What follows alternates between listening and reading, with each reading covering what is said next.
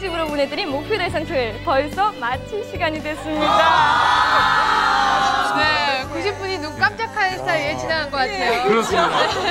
어쨌든 그또 사랑하는 여러분들과 헤어질 일. 네. 아, 제가 오늘은 그 마술을 하나 보여드릴게요. 추석이기 때문에 특별히 그 어, 오늘은 보름달을 여러분께 어, 보여드리도록 하겠습니다.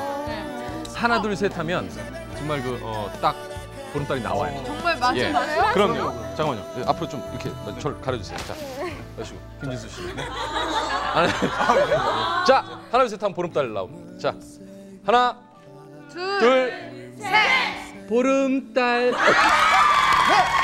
자, 여러분 감사합니다. 사랑이었다는 걸 너무 늦게 알았습니다.